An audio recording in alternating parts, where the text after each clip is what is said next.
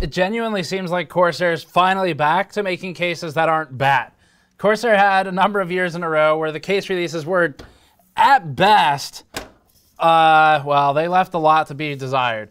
And at worst, there were some bad ones in there. Now, though, the 4000D back in about October of 2020 was a turning point for Corsair. It was a return to form where the company finally looked like it was starting to listen and get back to the, the core principles of case design and stop just trying to put a bunch of glass and LEDs into a blender and hitting in maximum settings, seeing what comes out. Because that's what they were doing for a few years with the things like the 680X. So the 5000D is what we're reviewing today. The 5000D is a very quick follow-up to the 4000D, but it's not a replacement. They're different cases in size and in focus, but they take a lot of the same core principles. The 5000D, as we were looking through it point by point, has resolved a lot of our individual complaints about the 4000D, which is great news. So we're going to look through that today and see what new complaints arise with this larger case.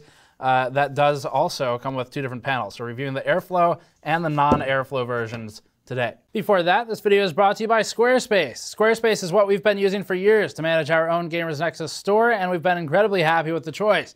Squarespace makes e-commerce easy for those interested in starting stores, but it also has powerful tools to build all types of websites. Photo galleries for photographers, resume and portfolio sites, and small business sites are all easily done through Squarespace. Having built a lot of client websites the old way before running GN full time, we can easily recommend Squarespace as a powerful, fast solution.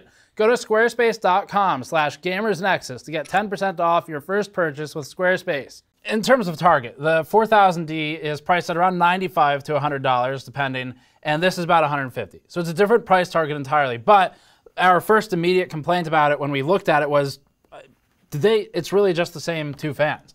So this is a downside immediately where it's just one front fan, one back fan, and that means you're going to be splitting airflow between the CPU and the GPU. One of them will run warmer than the other. And at $150, that does feel kind of cheap because it's it's either you commit to a philosophy of the user will provide their own fans and you give them zero, or you provide an adequate amount and, and quantity of fans for your $150 case. So that was a bit of a downside. But overall, the case has made several improvements to key features we've complained about in the 4000D. And if you look at the front panel too, it's a lot different than previous cases Corsair's done. And it's uh, uncommon for other manufacturers too, where they've got these deeper cutouts in the side that sort of chamfer inwards in the trapezoidal pattern. And so this ends up making it so that the solid panel cases are actually not uh, necessarily completely terrible, unlike a lot of other solid panel cases where you're basically just incinerating your components.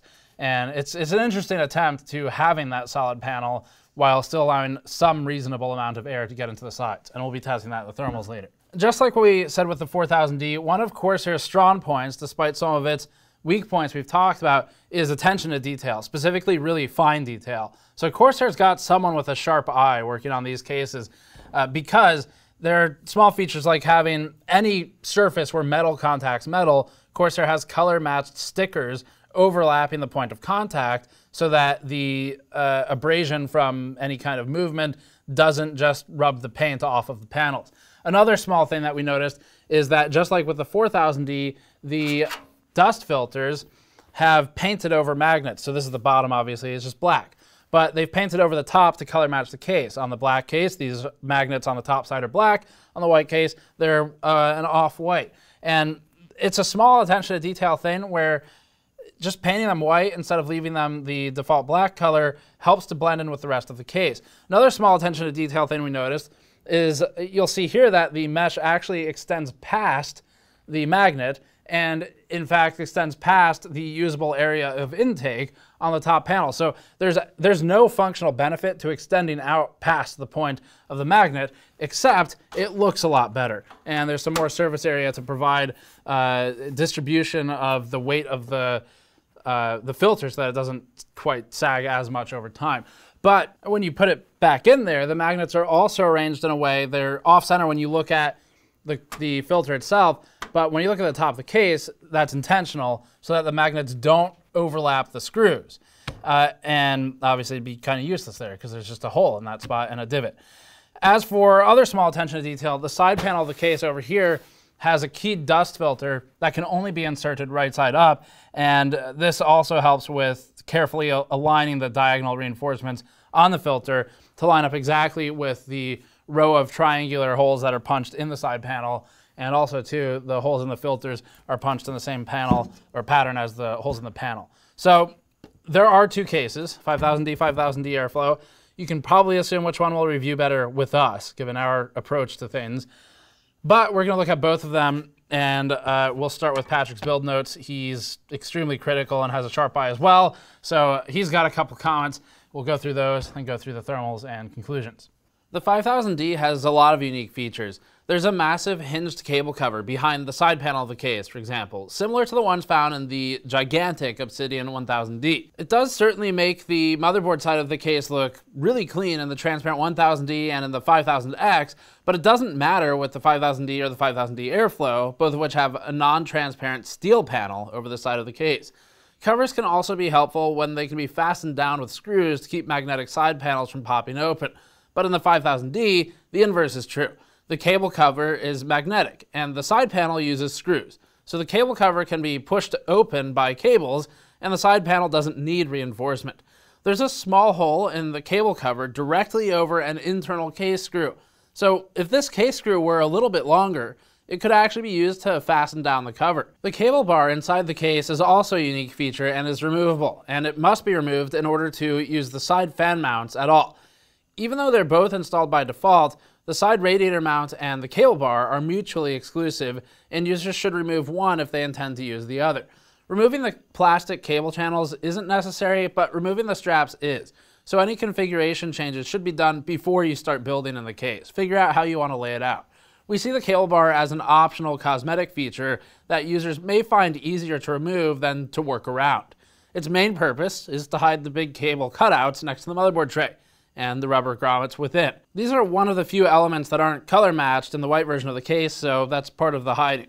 Snaking a 24-pin ATX power cable underneath the bar and then angling it back around into the motherboard is difficult unless the motherboard's power connector is mounted at a right angle.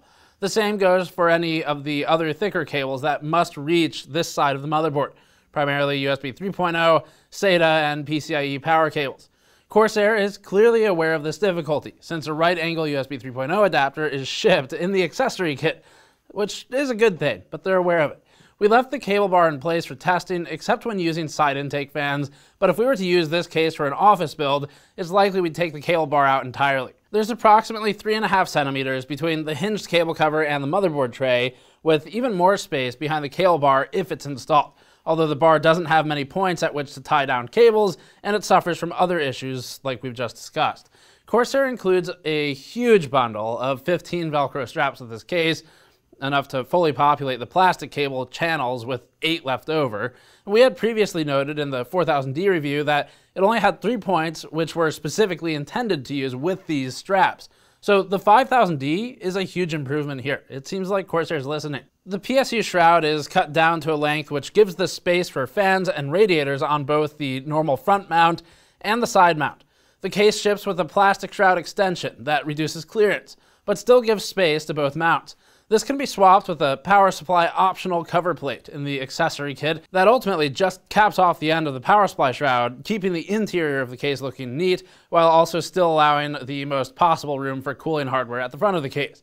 This is another cosmetic choice. With the power supply mounted in the standard fan down orientation, power supply cooling is a closed loop, and capping or uncapping the end of the PSU shroud would have no real impact on the power supply itself. If anything, blocking the end of the shroud is just another obstacle to airflow, depending on where your front fans are oriented. The hard drive cage underneath the power supply shroud may be mounted in three locations, but the rearmost position gives barely any wiggle room from an ATX power supply, and the other two positions are incompatible with the power supply cover plate. In other words, using the cover plate basically eliminates support for 3.5 inch drives. One negative aspect of the 4000D, which hasn't been improved in the 5000D, is that one of the thumb screws on the hard drive cage is difficult to access when a power supply is installed in the case. So there's still a few things they can clean up. Corsair's manual claims compatibility with eATX motherboards up to 305 by 277 millimeters. eATX isn't a thing, but the millimeter sizing is helpful. We wouldn't recommend installing anything larger than a standard ATX board in this case, though, because installing a board of the maximum size specified by Corsair would require removing the cable bar, and the board would block multiple cable cutouts and come uncomfortably close to the side panel fans. The front fan mount is subtly different than the one in the 4000D, but in entirely positive ways. One feature of the 4000D that we criticized was the set of cutouts on the front fan mount that were three 120mm circles, clearly intended for three 120mm fans in specific placements so that 140mm fans would be misaligned and partially blocked off. The cutouts in the 5000D are still positioned around three 120mm mounts, but the cutouts are slightly wider now, making it more practical to use up to two 140mm front intake fans.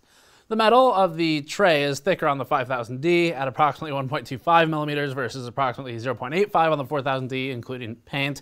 And this helps prevent another issue that we had with the 4000D, which was the delicate metal of the fan bracket bending inwards and clipping the fan blades. The tray is also removable now, making radiator installation easier. So once again, lots of things cleaned up. Radiator compatibility is also improved over the 4000D. We noted in that review that 360mm radiators wouldn't fit in the front of the case, even though there are three 120mm fan mounts that would, because the radiator's overhang would directly conflict with the front I.O.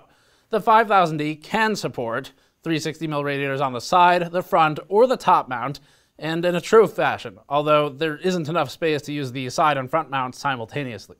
The I.O. unit is on top of the chassis rather than inside, so there's minimal interference with internal components. Moreover, the cutouts at the front of the power supply shroud are large enough, with the shroud extension removed, that it's feasible to install 360mm closed-loop liquid coolers tubes down at the front and side of the case, as long as the tubes are long enough. The 5000D's front filter is similar to the 4000D's, but it uses a thicker frame which stabilizes the mesh and prevents it from wrinkling or getting sucked into the fans over time. Interestingly, Corsair has chosen to reinforce the side filter, so they clearly do consider the reinforcement to be beneficial.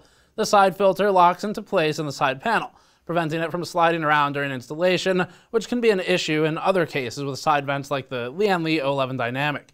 Distance between the surface of the front fans and the front panel itself has increased from 2 centimeters in the 4000D to 3 centimeters in the 5000D.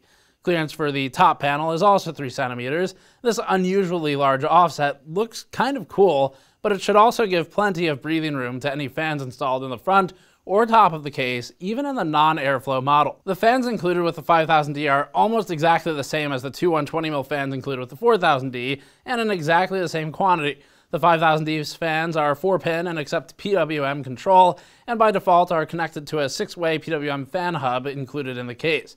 We'd like to see better fans included with this higher-end case, especially at the price delta versus the 4000D, but Corsair has reserved that for the 5000X. As far as we can tell, every individual component of the 5000D or X is listed as a separate product SKU on Corsair's website, this might just be for RMA purposes because we weren't able to order them. There's the front bezel, the I.O. panel, the shroud cover, shroud extension, right tempered glass side panel, not the left, the feet, the front panel. These are the only items that have add to cart buttons, but they didn't work at the time of writing. We'd appreciate seeing a different front and side panel available for sale separately, although offering individual tempered glass panels would undermine the value of the 5000X. And because we're covering two cases together here, we ran an unusually high count of thermal tests for this review. 18, including retests. The standard suite of torture tests, GPU stress tests, blender, CPU and GPU tests, noise normalized torture tests, standardized fan torture tests, and just noise were run with both cases, with the exception of the no front panel test, which we only ran on the 5000D and not the airflow, since it would have been almost entirely redundant. We also ran an additional test in the 5000D with the single intake fan moved to the side intake vent. Starting with just the 4000D and 5000D CPU results, the combined torture workload planted baseline CPU temperature at 53 degrees Celsius above ambient in the 5000D. Without a front panel, that average dropped to 48, which was also the average with both the top and front airflow panels installed. Moving the intake fan to the side vent didn't help, raising the average temperature to 56 degrees. The fans Corsair used are built with the intention of focusing airflow into a narrow, tightly directed funnel, which is not helpful when they're mounted perpendicular to the PC components. The temperature improvement with the front panel plate of the 5000D removed indicates that it does obstruct airflow, so it's worth considering side mounting radiators rather than front mounting them. When installing intake fans without a radiator, though, the direct airflow from front mounted fans is more beneficial than the less restricted airflow from side mounted fans. In the 5000D airflow, front mounting is definitely better, since the airflow plate has a negligible effect on temperatures. Despite the intake fan being more distant from the components to be cooled than in the 4000D, the 5000D compares favorably to the smaller cases in uh, both the airflow and non-airflow configurations.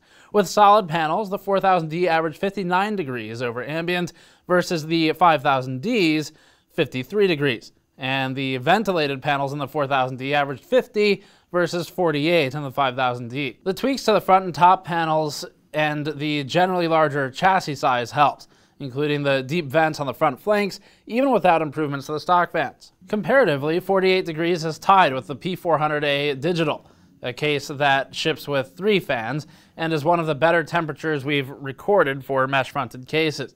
Perhaps more impressively, 53 degrees with the solid panel still only pushes the 5000D down to the middle of the chart, a little cooler than the stock Meshify C.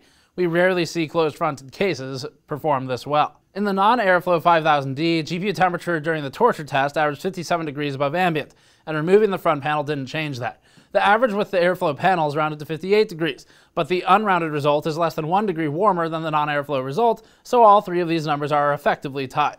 The 5000D comes with a single stock intake fan, which is positioned in the middle slot in an attempt to split airflow between the CPU and the GPU. It doesn't do much for the GPU, allowing a dead zone to form at the bottom of the case hence the minimal change resulting from changing the front panel. A more positive contributing factor is the design of the front panel, which isn't overly restrictive even with the non-airflow plate installed. Moving the front intake to the side intake did slightly decrease the average GPU temperature down to 55 degrees, but this was helped by the fact that the side fan mounts are slightly lower than the front mounts. So even though we used the center mount in both instances, the side intake fan was lower and focused more on the GPU.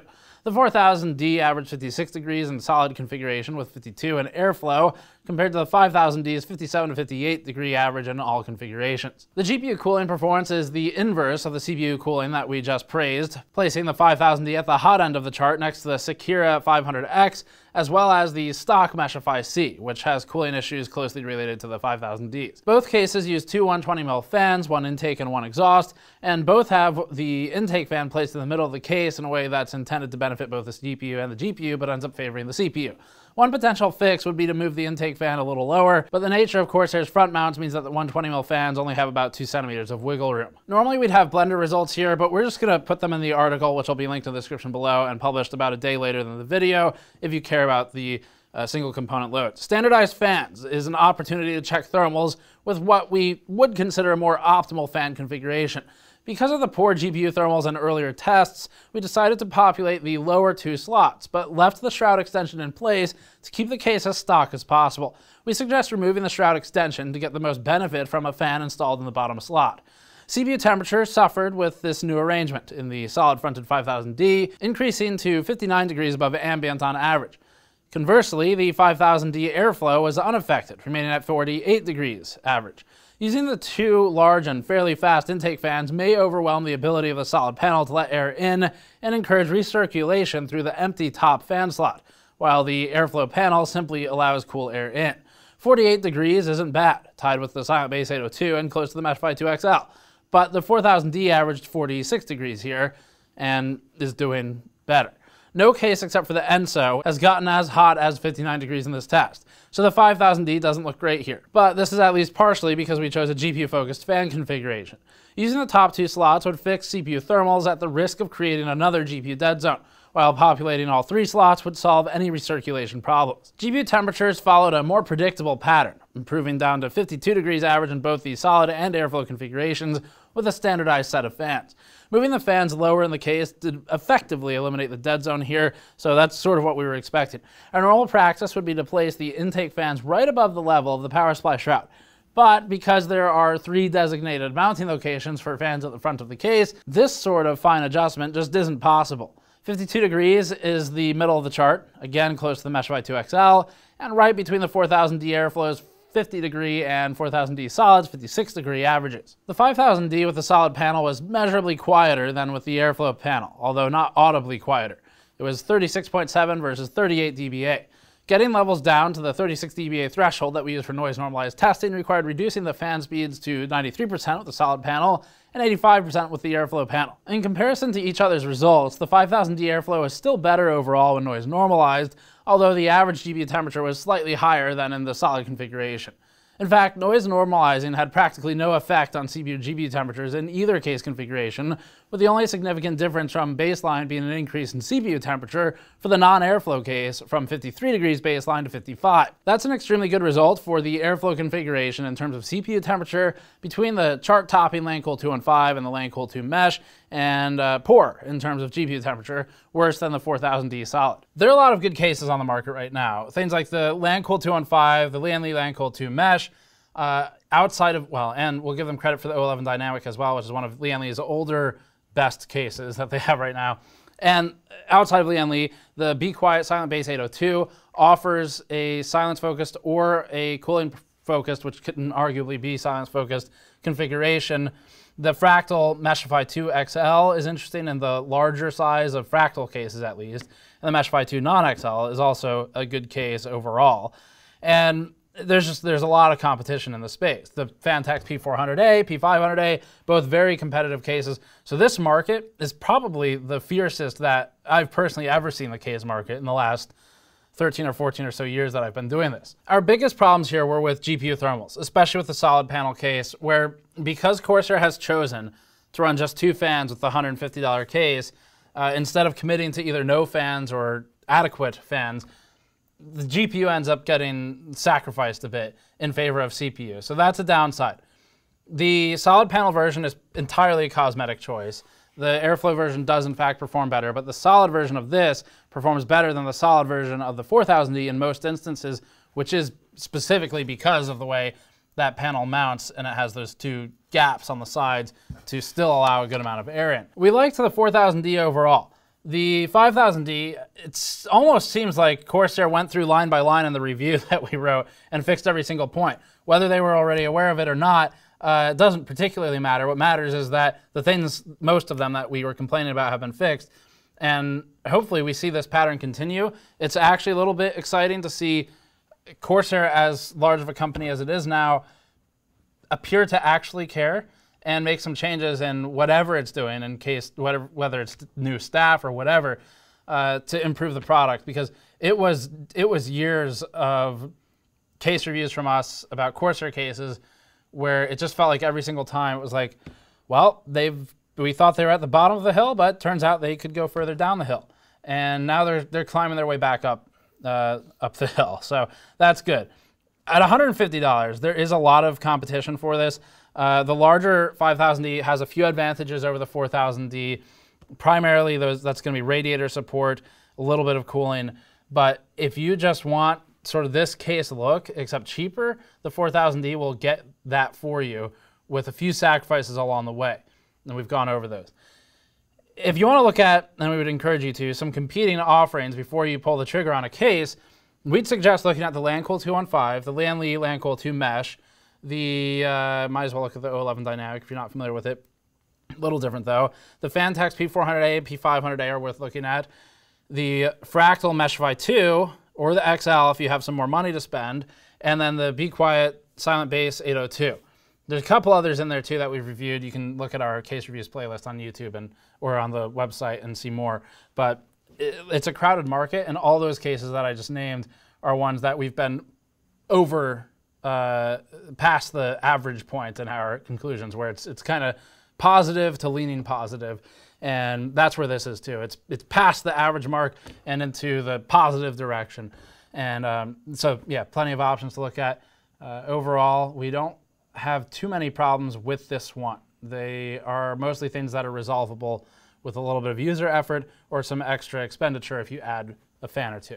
So that's it for this one. Thanks for watching. You can subscribe for more as always. Go to store.gamersnexus.net to help us out directly and get something in return, like one of our toolkits or wireframe mouse mats. You can also go to patreon.com slash gamersnexus to get bonus footage. We shot a new behind the scenes video that is up there already and uh, talked about this case actually before this review went up. Thanks for watching. We'll see you all next time.